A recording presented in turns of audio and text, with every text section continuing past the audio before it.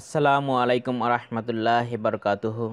সরল পথ YouTube channel সবাইকে স্বাগতম। আমার এই পুরো ভিডিওটি যদি ভালো লাগে অবশ্যই চ্যানেলটি সাবস্ক্রাইব করবেন। আজকের আলোচনার বিষয়, কত টাকা থাকলে জাকাত দিতে হবে? পবিত্র রমজান মাস সিয়াম সাধনার মাস। ধনী ব্যক্তিগণ তাদের সম্পদের তুলনায় জাকাত দিবে। ধনী ব্যক্তির জন্য জাকাত দেয়া ফরজ। কথা হলো, কত টাকা থাকলে আপনাকে জাকাত দিতে হবে? আপনার জাকাতের যে নেশাবের কথা বলেছে, এই নেশাবটা কি? বাংলাদেশি টাকায় কত টাকা থাকলে জাকাত দেয়া যায়? দেশি বিদেশি মুদ্রা ও ব্যবসায়িক পণ্যের হিসাব নির্ধারণে সোনারূপা হলো পরিমাপক। এক্ষেত্রে অসচ্ছল অসহায়দের জন্য যেটি বেশি লাভজনক হবে, সেটিকে পরিমাপক হিসেবে গ্রহণ করায় শরীয়তের নির্দেশ।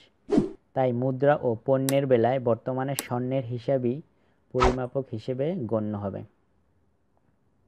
যার কাছে সাড়ে সাত ভরি স্বর্ণ বা এর সমমূল্যের দেশি বিদেশি টাকা, মুদ্রা বা ব্যবসায়িক পণ্য মজুদ থাকবে, তার ওপর জাকাত ওয়াজিব হবে।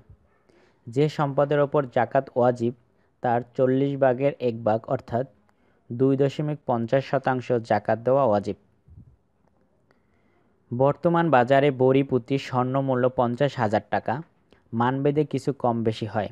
তাই আনুষাঙ্গিক বিষয়গুলো বিবেচনা নিয়ে স্বর্ণর মূল্য বড়ি প্রতি মোটামুটি পঞ্চাশ হাজার টাকা ধরে।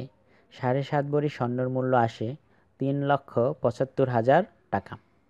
কেউ যদি ঋণমুক্ত হওয়া এবং সারা বছরের মৌলিক প্রয়োজন মেটানোর পর মোটামুটি সর্বনিম্ন তিন লক্ষ পঁচাত্তর হাজার টাকা বা এই টাকার সমপরিমাণ মূল্যের ব্যবসায়িক পণ্যের মালিক হয়, তাহলে তার উপর জাকাত ওয়াজিব হবে। হিসাব করে শতকরা আড়াই টাকা বা হাজারে পঁচিশ টাকা হারে নগদ অর্থ কিংবা ওই পরিমাণ টাকার কোনো প্রয়োজনীয় সামগ্রী দিয়ে জাকাত আদায় করতে হবে।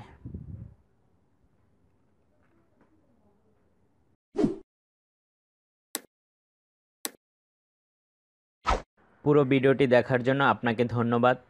নতুন নতুন ভিডিও পেতে এবং ইসলামিক জ্ঞান জাগ্রত করার জন্য আমার এই চ্যানেলটি সাবস্ক্রাইব করুন। ধন্যবাদ।